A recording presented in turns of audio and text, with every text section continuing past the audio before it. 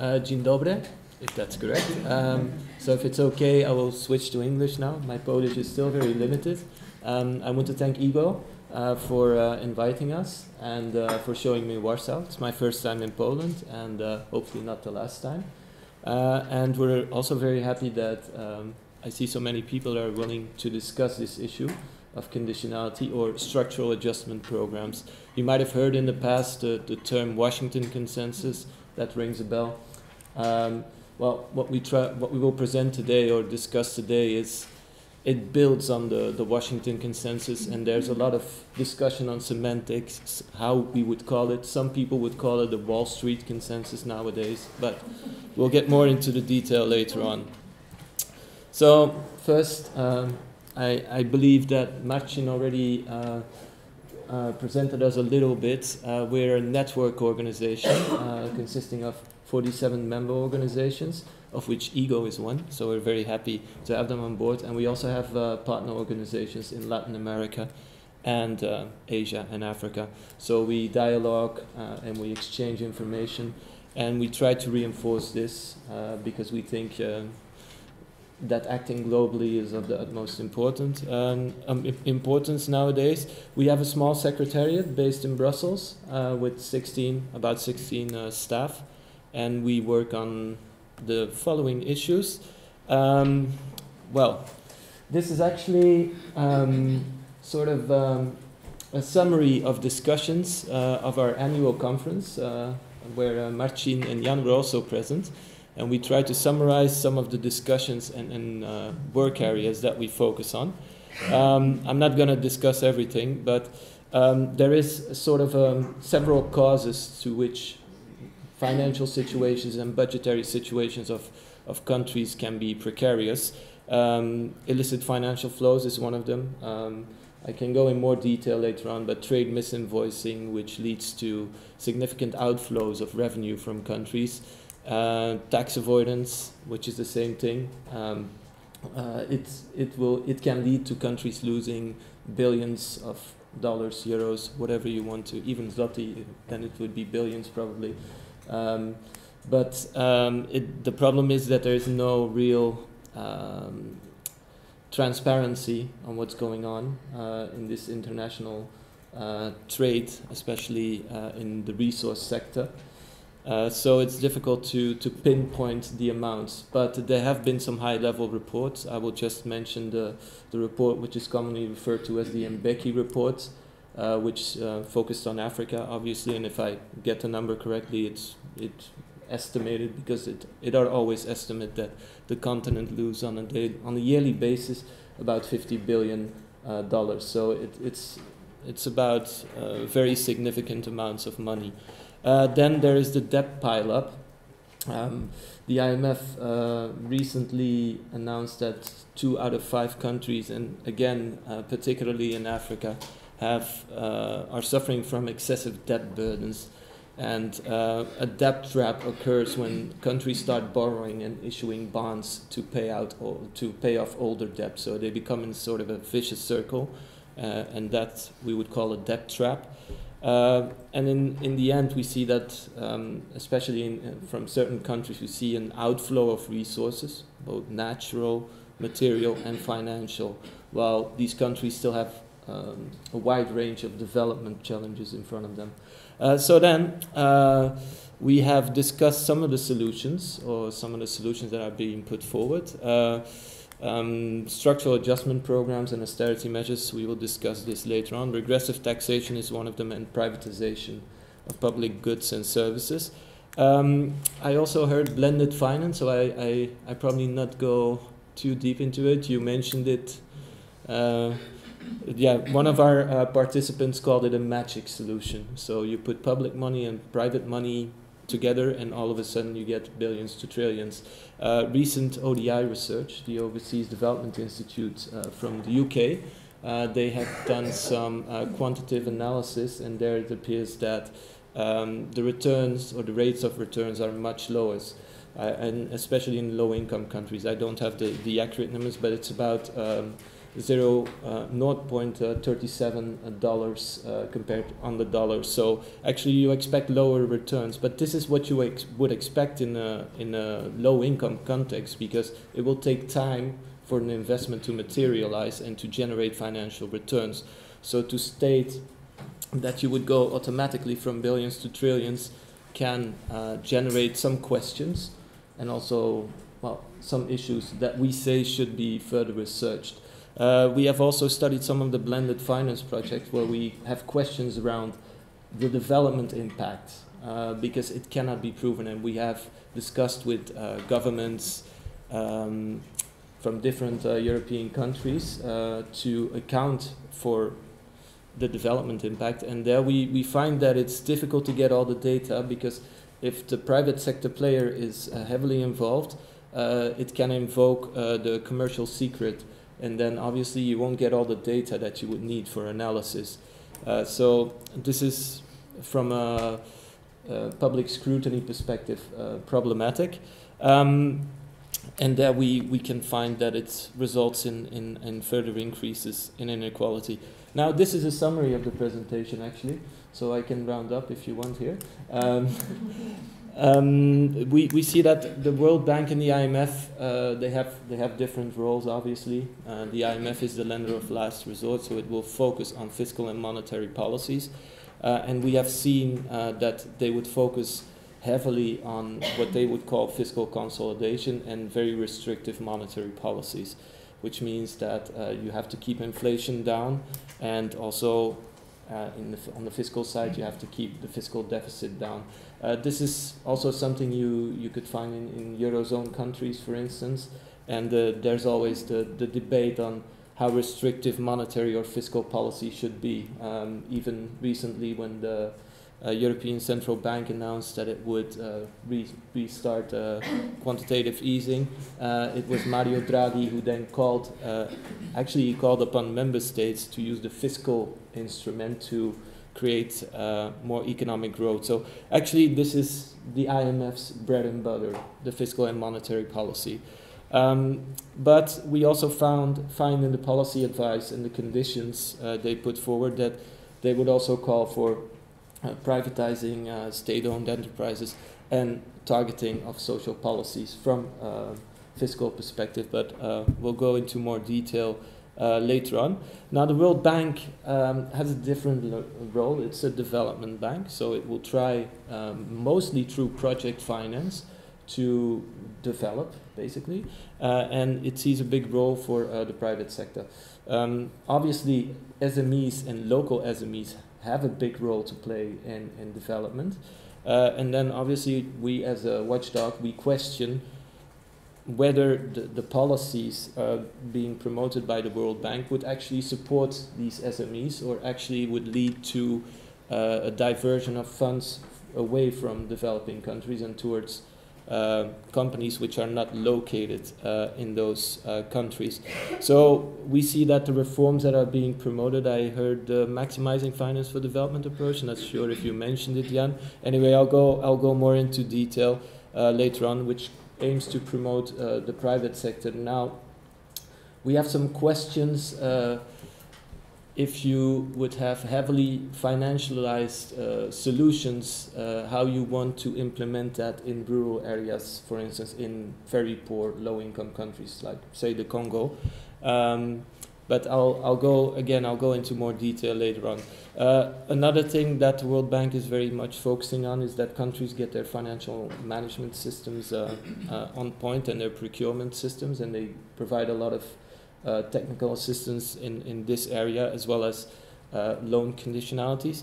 Then um, economic policy along the lines uh, of the IMF. Uh, if the um, stabilization is, is a very important issue, and they also uh, invest heavily in um, yeah, um, VAT advice, which mostly means to increase VAT rates and wage bill conditionality. Uh, which I will also go into further detail later on. And, and one of the, the key areas in the role of the private sector, um, I haven't mentioned that, is the promotion of the PPP model uh, through loan conditionality and, and other advice, and also to reform the, the business climate. And I'll go into more detail, but this is based on the philosophy that is uh, being put forward in the Doing Business report, which is a very influential report. It started a few years ago, and um, it's being um, referenced in, in many development plans. However, there has been uh, an, an, a review, an independent review, which questioned the methodology of this report. But again, more on this later on. And then there's agriculture, which is uh, increasingly becoming more important.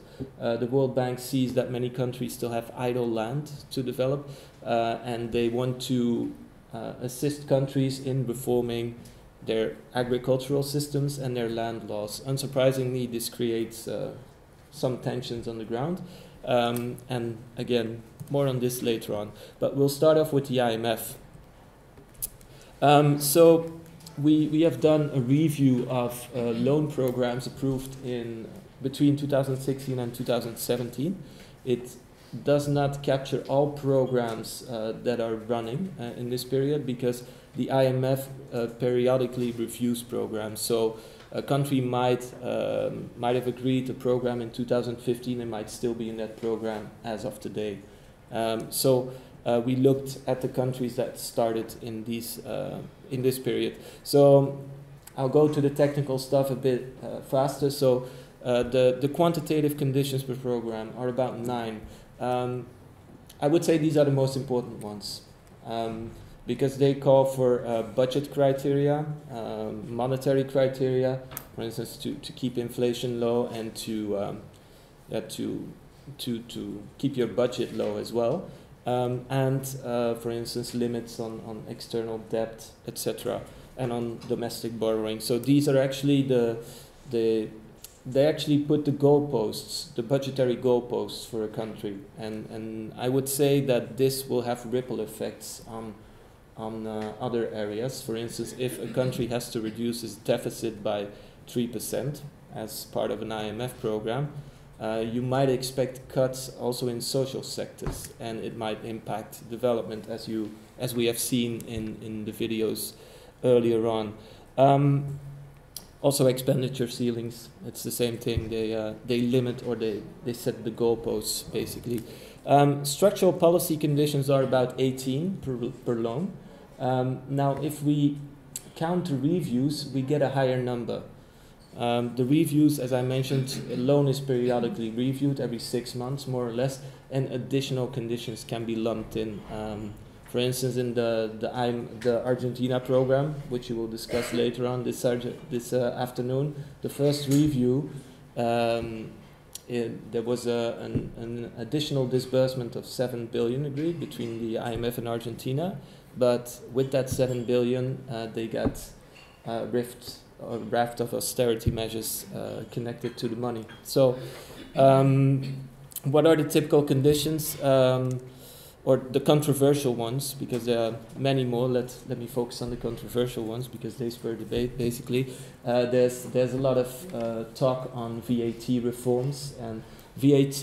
The IMF sees it as a an interesting uh, tax because it's easily to collect. On the other hand, uh, there are many analyses that um, highlight the regressive nature of this uh, tax, although they are not conclusive, I must say, but most of them point to the regressive nature of VAT. And I think in the, the films you also saw that um, increases in VAT, they, they affect the purchasing power of citizens. And um, well, they they they make the they can uh, make the cost of living go up. Uh, targeted approaches to social protection. This is interesting. Um, this is actually also something that's being put forward by the World Bank.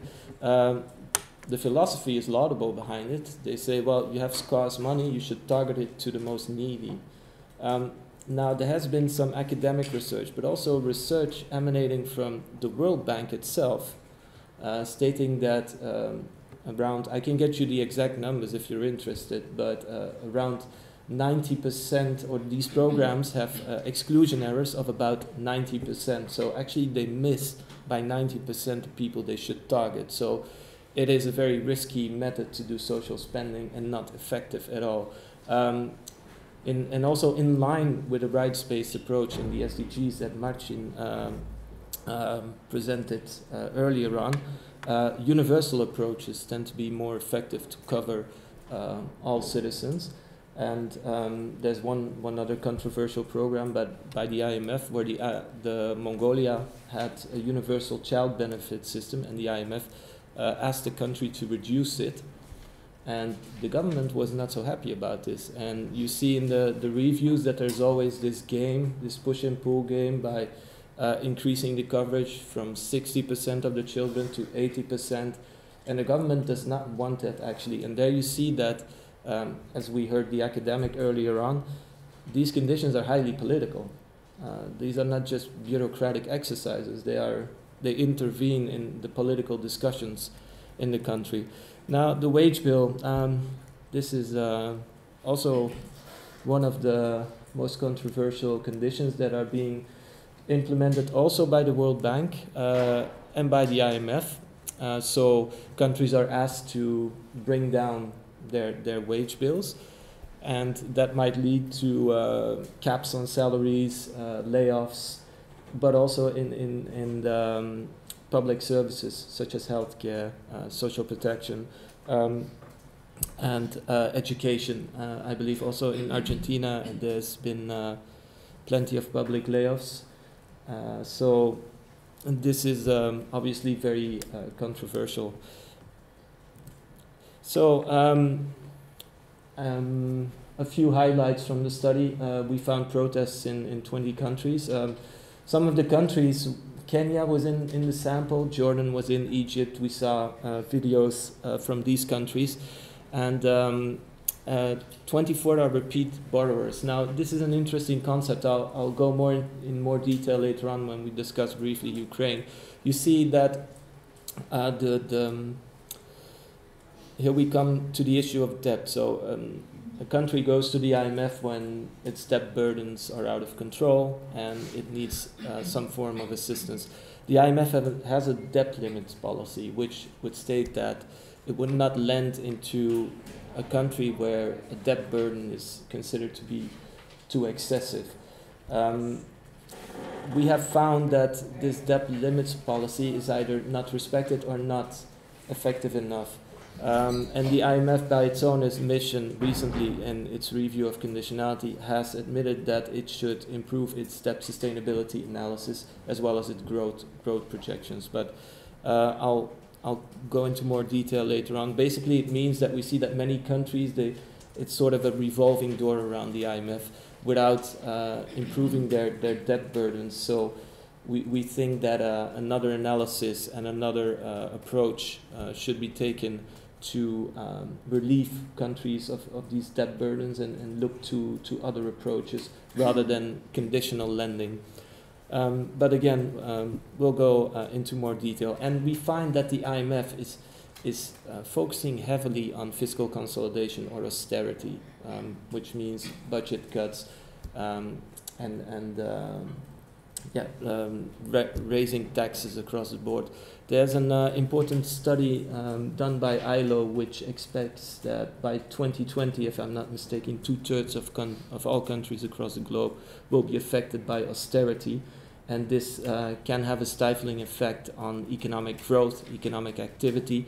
So it is counterproductive if it becomes excessive. And there's a lot of uh, academic debate around this uh, um, high level economists like Stiglitz and, and Krugman, they have uh, called out the, the ineffectiveness of austerity actually to reignite growth. Um, in, in Argentina, again, well, I've studied the case a bit. I'm sorry, I, many people look at Argentina nowadays. Um, we, we also saw that the loan program was unable to reverse the, the negative growth, and it actually had to do with what is called the fiscal multiplier effect, uh, where the cuts, um, for instance, um, lower public spending, uh, would also lower aggregate demands. Um, if you also have um, public layoffs, you have less purchasing power, so you have less money going into local SMEs, who then also go out of the business, uh, like happened in, in Argentina.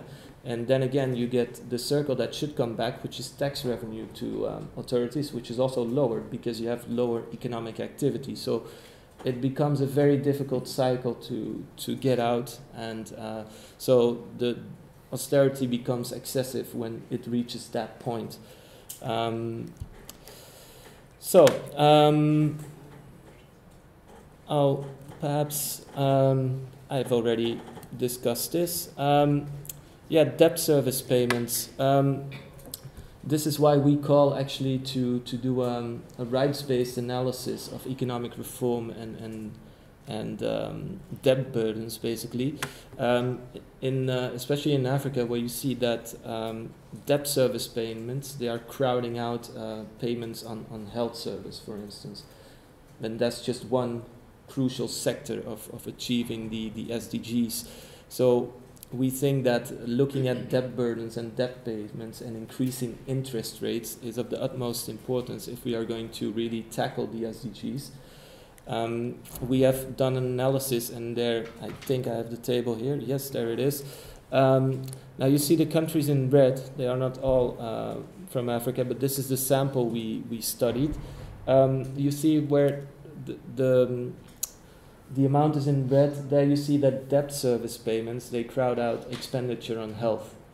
Um, and you see that in, in some of the countries here, um, they, they still have severe challenges in, in terms of uh, health and, and health service delivery and improvement of, of health systems. Just think of uh, Sierra, Sierra Leone is, uh, is okay, sorry, but um, yeah, Gabon uh, is one where I will go into more detail.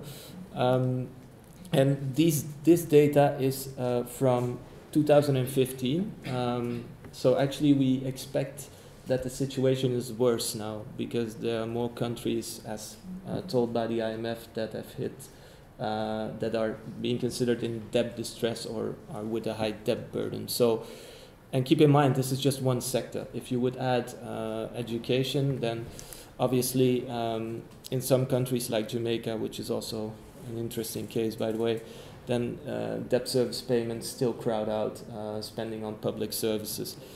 But we are producing a new research on this, and uh, hopefully we will get uh, some more data, uh, some more recent data soon to you. Um, so the knock-on effects on uh, public services. Um, we had looked into Gabon. I'm sorry, I'm going to see if I no, I did not bring this slide.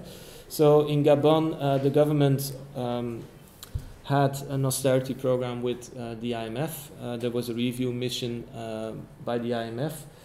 The IMF stated that uh, it was not happy with progress uh, by the country, so it said, quote, uh, the government has to take corrective action. one of the corrective actions had an effect on health service because doctors were, pay, were put on cash vouchers, which means that they weren't paid until further notice, and um, people from the public health insurance that were insured by public health insurance were no longer served because the government had arrears in paying out the hospitals. So this led to queues in hospital and hospitals and people's uh, not being treated. In Chad, uh, similar story. Um, I'll, I'll, not go into detail. I can can share more detail later on. But there, um, austerity led to the cuts in, in straightforward cuts in, in health budgets. Um, again, Argentina, I'm sorry, um, there was an Argentinian, Argentinian research institute that estimated, as a consequence of the austerity that's currently going on, uh, the health budget of 2019 would be cut by 8% compared to the 2018 one. So that's uh, very significant, I would say. Now, the IMF is aware of these uh, negative effects, so that's uh, a step in the right direction. Uh, and they have uh, put forward social spending floors. So we have analyzed these spending floors, but it appears that they are, they lack ambition basically, um, because they are at levels what is below in the low-income countries that we analyze, analyzed. It's this is only an analysis for the low-income countries uh, where we analyzed how it matches with uh, guaranteeing basic health care, and there we see that these spending floors are too low. um, let alone other uh, social spending or uh, other contributions to the SDGs. So, um, Argentina. Uh, I'll, perhaps I'll, I'll, I'll not go, I'll, I will not go in too much detail because you will have another speaker uh, in the afternoon. But um, Argentina went, they had, a, they had a strain, or they have a strained relationship with the IMF. It's no longer in the past currently as well. It's, it's becoming very difficult. Uh, a difficult uh, balancing exercise for the IMF. The reason for that uh, bad relationship is the 2001 crisis, uh, where many citizens and analysts uh, found that the IMF policy advice was, was partly responsible for uh, aggravating the crisis. Um, over years, um, the Argentine, Argentinian debt pile was also being bought up by what is called vulture funds. I'll, I'll briefly explain. Uh, so basically, these are um, investment firms that uh, buy um, debt of crisis countries on secondary markets at low prices. But then, when there's um, a request for restructuring this debt, they want to be repaid in full, so the full value of the of the debt. And um, this, well, in, in the Argentinian case, there are uh, profit ratios of these countries that are three figures. So um, the estimates is like estimating illicit financial flows is pretty difficult, but um, basically it meant that the Argentinian government, um, the new one, uh, agreed to pay out the, the vulture fund. So it needed to initiate more borrowing. So it created a new borrowing boom. So again, uh, the financial situation deteriorated. Um, before I go any further, there are ways, actually, there's, there's, there are two countries globally, if I'm not mistaken, Belgium and the UK, that have some legislation, excuse me, on vulture funds um, where a vulture fund is only allowed to get back the, the principal on, on, what they bought or the value what they bought the, the, the, the, the debt on the secondary market with a modest markup. Uh, because profit margins are, are really out of control. I believe it's up over 300%. So, um, at some point, uh, the, the, the crisis in Argentina re-emerged and the government turned to the IMF. Uh, the peso was devaluing dramatically, inflation uh, went through the roof, and they reached out to the IMF for a significant bailout loan. As I already mentioned, it was raised uh, and it came with uh, strict monetary conditions and austerity measures. So typically budget cuts uh, at federal and provincial levels. Um, Argentina is a federal state, so the provincial levels, the contributions or the transfer to the provincial levels were also reduced. And in many states or in many cases, provincial level is or are responsible for providing health care, for instance. So again, this affects uh, public uh, service uh, provision, then the wage bill reforms, pension reforms, which also, um, well, basically put a ceiling on, on, the, uh, on paying out pensions. So it's also an austerity measures, uh, subsidy elimination for sensitive products. So uh, the cost of living went up in Argentina. They have also been protesting quite a lot against that, if you have followed the news. Um, and, well, there are many more, but um, just um, let me look a bit more into what happened uh, later on. So um, the IMF, um, like in Greece, they had very optimistic growth forecasts. They, but must say, in the case of Greece, it wasn't only the IMF, the, the Troika was involved as well.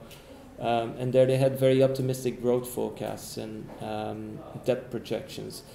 Uh, while the fiscal multipliers were also in, in Greece underestimated, so and the, the social situation in the country also crumbled gradually, as well as the economic activity. Um, the same the same happened in Argentina, uh, where actually the the debt limits policy arguably was was not respected, uh, where actually uh, before an IMF financing could be triggered, actually uh, there should have been talks about debt restructuring, because otherwise it's lending and, and making a situation worse. Um, so the government uh, recession was uh, was aggravated uh, through this down, this lower economic activity, which led to a negative GDP ratio, which then again worsens your debt to GDP ratio. So actually, it's counterproductive from a debt sustainability standpoint. So um, the, there were ways um, that we say as Eurodad we should have looked at the debt burden first before lending um, blindly into into this situation. So um, the government, and this is more recently, uh, they, they were trying to curb the hot money flows. Um, so actually, people were dumping their assets in pesos, and they were burning through their external res reserves. And we have uh, also from Argentinian research, I can get you all the sources if you're interested, that about three quarters of the money uh, from the IMF went directly out uh, to bailouts, and well, it led to the formation of these external assets, which were then used to um, well to stabilize the peso, but actually served also to bail out uh, people that were dumping their um, peso assets. So um, in all of this, um, there, there, there have been also some uh, uh, statistics on poverty rates, which in uh, 2016, uh, Argentina saw a 6% increase. Uh, in unemployment, I have um, data is a bit more wobbly, but it went gradually up. But right before 2018, it was very high as well. But from the onset of the crisis, it went gradually up. It went down a little bit, but it went up as well. So I already mentioned uh, cuts in social services and also local SMEs, they closed down uh, by the thousands.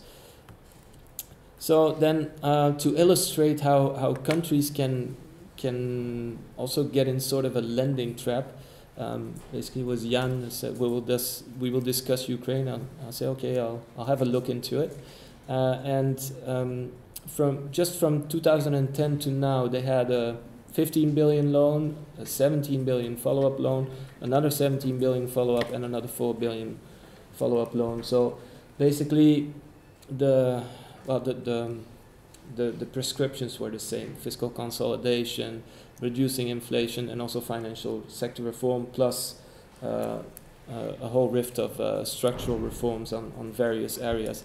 But it did not critically solve the, the, the financial situation of the country. Now, I must state that Ukraine is clearly a vastly different country than Argentina, which Ukraine had its share of political and security crisis in the, the last few years. So clearly, another approach is needed for this country as well, and that is one of our main, um, um, yeah, main uh, recommendations to the international financial institutions, rather than getting these general standardized policy prescriptions to look at the local context and to see what type of monetary policies are adequate for the context and what type of fiscal policies are adequate in a certain uh, country context.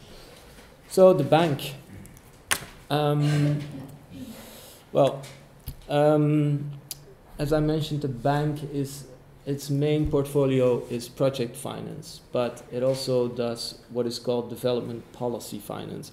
And with this money, it's actually giving a country a loan to, um, well, to perform some policy reforms. And as we will see, these are basically focused on private sector development um, or attracting private investment, I would say. Um, so uh, we looked at 53 operations in 46 countries of 2017. Um, 30 operations were in IDA countries. These are the, the low income countries, and IBRD countries are upper middle, lower middle incomes. So the number of conditions is, is vastly lower as compared to the IMF, but so is the funding. So the, one of the, the largest um, World Bank loans recently was again to Argentina uh, of half a billion, and that's the, there. But they do several loans and several uh, project uh, finance. So it's actually you should look at the whole portfolio. Um, so the World Bank also has this development policy retrospective, its review of its lending and they have certain categories that they apply, but um, we have actually uh, done our own analysis and looked at the conditions and labeled them ourselves. Because, um, for instance, and which is okay from their perspective, the World Bank has a category energy uh, and, and climate, and we found that a lot of these uh, conditions related to the energy sectors were actually promoting PPPs in in uh, provision of uh, electricity, etc. So we labeled them as private sector development. Um, so, um, as I already mentioned uh, earlier on, um, economic policy and agriculture are also very important. So, uh, these instruments they they advance policy and institutional reforms which uh, are in tune with, with wider World Bank agendas or other uh, World Bank agendas. One of the most famous one is the Maximizing Finance for Development. I'll briefly explain uh, what that is. It's sort of a, a cascade approach. So uh, can commercial finance do it? Then let commercial finance uh, um, take the take the take the lead.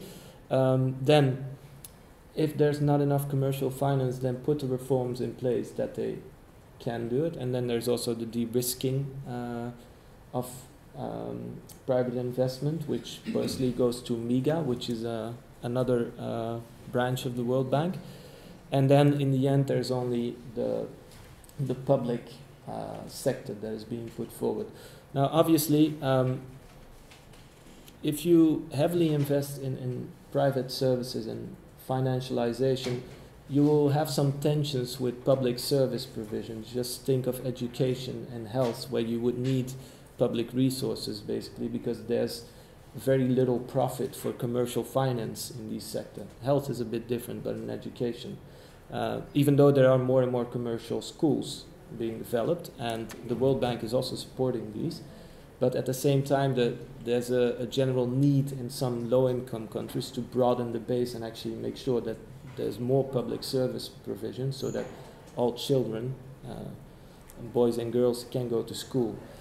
Um, and one other thing with uh, the creation of um, pri- or um, the privatization of public services is that they, they might ask user fees, and those will be impoverishing for people that are already poor. So actually having to pay for healthcare or education um, is uh, very difficult. The WHO uh, has labeled um, user fees or, well, spend, expend, not user fees, but expenditure on, on uh, healthcare as one of the most crucial elements uh, for people to fall into a poverty trap. They call it catastrophic health expenditure. And I have also uh, various estimates on this, but I'll I'll, uh, I can get you more info on this. So the other agendas are uh, the doing business report, um, the enabling the business of agriculture, and also they work uh, back to back with uh, the IMF.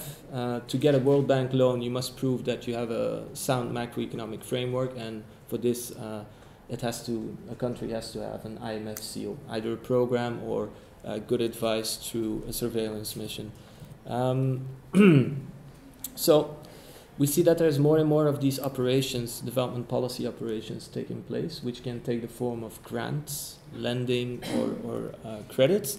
Uh, diagnostic tools are also very influential. We're currently uh, developing research on this, and there we see that there's a coordinated push to to privatize certain sectors. And um, as I mentioned before, it's it's all about do these initiative, initiatives actually reach the local SMEs? And there we see that basically the IM, IFC is uh, creating um, the floor, or preparing the ground for more um, external uh, private sector investments, which do not necessarily contribute or not to the same amount to the local economy. Um, so, um, as we mentioned, a quarter of all conditions is uh, the enabling or the promotion of the private sector. Uh, we see a lot of regulatory reforms, uh, PPP laws, privatizations, uh, the energy sector, uh, increasing uh, access for companies in the energy sector, and the MFD approach, the maximizing finance for development approach. We also had three countries which are the pilot countries for MFDs, uh, which also already had uh, DPOs in place, which are in line with the wider uh, strategy, which links not only development policy operations, but project finance, guarantees, technical assistance, and advisory services. So it's actually the philosophy behind the MFD, which is pushing the countries into a certain type of reform. And then uh, we obviously uh, raise the question, and not only ourselves, we have partners in Jordan as well, to what extent uh, does this respect uh, aid effectiveness principles, in particular democratic ownership of uh, development policies? So um, there's a concerted push by the bank to implement this approach using all of the instruments and tools it has at its disposal. So, uh, of this private sector agenda, there's um, uh, a good share which are reforms which are in line with um, the Doing Business report. So, uh, the Doing Business report is published yearly and it praises or uh, does not praise countries for their advances in, the, in creating the business climate uh, or improving the business climate. Um, So um, in Albania is one case where uh, the country was lauded for its advances in reducing the time for construction permits and access to electricity. Now it appears this was not the World Bank. Um, in our discussions with political staff, they they say, well, it's a, a knowledge product and it's free of any form of constraint. Well, we found in the, the, the loan to Albania the review of or improving the issue issuance of construction permits was a policy con- or loan conditionality, which makes it less free of constraint. Um, so here we mapped the different uh, conditions along the the different indicators of the doing business report. So for the very nerdy persons like myself who can uh, have a look. Um, Similar, uh, the enabling the business and agriculture agenda. Um, this also um, the World Bank wants to, yeah, um, actually it's to, to improve the agricultural sector uh, and to improve agribusiness uh, in, in those countries. And uh, there we see that land reform is crucial, uh, agricultural trade and market finance, seeds and fertilizers, etc. Uh, but let me highlight the land reform. This, um, if you look in, in Africa, there are different types of land systems. You have an official one, a customary land system, etc. So, uh, steering such a reform from abroad uh, is creating a lot of tensions on the ground, and uh, this has resulted in quite a lot of controversy. Um, there are a few organizations that have been highlighting cases, but uh, Sierra Leone, I think, is one of the, the cases in the spotlight right now where you would see that uh, property rights, and in particular for women, uh, cannot be fully captured by a, a, loan conditionality, which is being engineered from Washington, because you would need really localized uh, solutions. Um, so, um, the doing business report, I, I like to zoom in on this because Eurodad, we have been working quite a lot on this, and uh, we have had uh, discussions with uh, the World Bank executive directors, and there's some acknowledgement on, on, on of our concerns, but their key thing for the doing business report it's it's a policy icebreakers. When they when they engage in discussions with countries they see it as um, an easy way or the standard approach to uh, discuss reforms. So this is one of the, I would say this is a summary of the key concern basically. Um, this was an independent review panel, basically with uh, um, academics from a wide range of, of countries, headed by Trevor Manuel. And, but this is uh, a criticism you can put to any ranking method, right? You you try to bring together a vast amount of information uh, and you try to summarize it into a single number. Now, the main problem with this is that there's a, a value judgment in, included in this doing business ranking.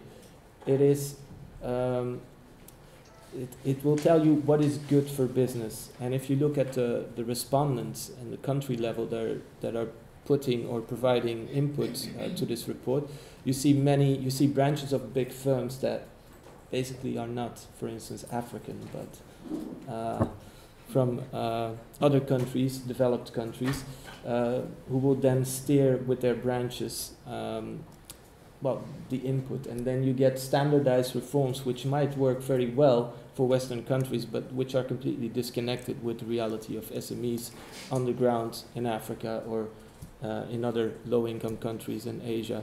So there is acknowledgement of the methodological flaws, and there was recently a controversy with Chile where you saw the rankings jumping up and down.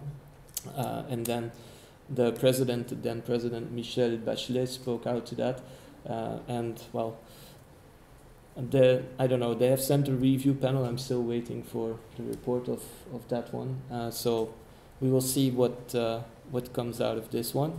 Um, what is uh, interesting, the most controversial indicators was one the labor indicator, uh, which is um, currently no longer part of the the overall aggregate ranking, but which is still being counted. And what is counted in the labor uh, indicator is basically the, the issues we heard by the professor in the video, which is labor market flexibility. Uh, then the other thing, uh, the other controversial indicator is uh, paying taxes. Um, and there, even though the indicator would not count for it, it, it talks about the ease of paying taxes. And there we see that uh, countries with lower corporate tax rates tend to be higher up the ranking. So it also um, actually shows a certain preference for what type of taxes a, a country should uh, apply. Um, and then, yeah, indeed, all the other regulations on business registration, all of it is about to to harmonize it and to make it more quicker, etc. Which from a business point of view you could understand, but um, if you have to make sure that all that a country or as they see fit could implement their uh, um, sorry I'm looking for the word in English aménagement public um, sorry the the, the environmental concerns and everything you need to build a building that they can respect it and that they can respect their own regulations and are not being put under pressure to deregulate from Washington again. So um, also the, the report has a bias for uh, SMEs uh, in cities, uh, which is, well, um, I know Africa a bit, so I, I know that cities are quite different from uh, rural areas and informal settings there. So you would have significantly different advice, but still the, the report advises the same thing across 180 or 19 countries. So, um, so as I mentioned, it conflates the challenges faced by SMEs in high income, middle income, and low income countries. So, a business environment, my main point is a business environment in Poland or the, the ideal business environment of Poland would look different from the ideal business environment in Benin, just to say an example. Um, so, um, then we come to the alternatives or uh, critiques. So I believe it was last week, um, the UN independent expert on foreign debt and human rights um, was also pushing for a rights-based approach to um, economic reforms and the, the policies of international financial institutions. Um, he linked the austerity push by this institution and also the privatization of public services to human rights impacts and he calls for um, for for these institutions to be held account. Um, and he has put forward a few tools, which you would call the UN guiding principles um, on human rights impact assessments of economic reform. So the idea is that each country would have an independent uh, human rights institution, which would um, produce regularly uh, human rights impact assessments of the economy, of economic reforms, and would uh, bring this forward uh, regularly to the government in all stages of the planning cycle. So before decisions are made, during the implementation, because during the implementations, certain adverse effects might emerge, emerge and also exposed, so that you get a full view of what the impact is on the human rights now, I also must clarify that here we talk about a, a holistic view of human rights. Uh, it's not limited to uh, I would say, the political uh, human rights, which means um, uh, freedom of speech and, and, freedom of assembly and those sort of things, but broader rights, uh, rights to um, mm-hmm. to a decent living, decent housing, right to health, right to education, etc. so um, the the idea is that these um, these impact assessments uh, could shield the poor from uh, structural adjustment and austerity. So actually, what the the idea is behind these impact assessments that if it can be uh, demonstrated that will have um, a negative impact on a certain group, that you would opt for less harmful uh, alternatives uh, if they are available. So basically, it's trying to bring the economic reform agenda in line with human rights and right-based agendas like the SDGs. That's actually the, the idea that's behind it. So um, as I summarized, um, it should be an integral part of the policy planning cycle, decision making, negotiation, negotiation processes, and official working, working methods between uh, the international financial institutions and the borrowers. Um, we also would like the debt sustainability analysis, which now exclusively looks at economic indicators, which has one part of the story, obviously, but we also want to include this um, perspective, for instance, in, in in debt sustainability analysis. For instance, how much, how does it compare the, the, the debt service payments of a country to uh, its provision of social services or public services, such as education. So uh, this is from um, a direct copy from an ILO report. Um, so there are various alternative uh, methods, and we can discuss each of them. Uh, and within those methods, we also have different views. I mean, we can have expansionary uh, fiscal policy, but it will depend on the country context to what extent it should be expansionary. Um, so increased aid and transfers uh, is one, increasing tax revenues, and then obviously we'll have to see what type uh, of tax revenues you are creating. So a good one would be eliminating Ill illicit financial flows because it would put a lot of money in government's coffers again. Um, yeah, debt um, debt discussions should take place uh, at Eurodad. Uh, I think Marcin will have mentioned this uh, perhaps in his talk. We have been uh, advocating for an independent debt workout mechanism in the line of uh, a bankruptcy regime in, in, other sectors where we would look at the country's debt and uh, preemptively try to restructure it. It's not the same as, as um, relief. In certain cases, relief might be granted as well, obviously um, then uh, a more accommodative uh, macroeconomic uh, framework to have some uh, inflation because it was uh, mentioned there as well. The, the typical advice by the IFIs or basically by the IMF, uh, as one scholar who calls it the inflation obsession, is to raise interest rates to keep inflation down basically. And when you have repeat programs, interest rates stay so high that governments are prevented from uh, borrowing to invest in, in public service provision or to uh, build infrastructure. But at the same time, uh, local companies they also face these high uh, interest rates. So um, if it's repetitive, this uh, inflation obsession, then uh, it, it also puts a dampening effect on economic activity. Now, there is an academic discussion, and uh, it's a very rich one, but um, uh, there's one scholar who made a mapping of it.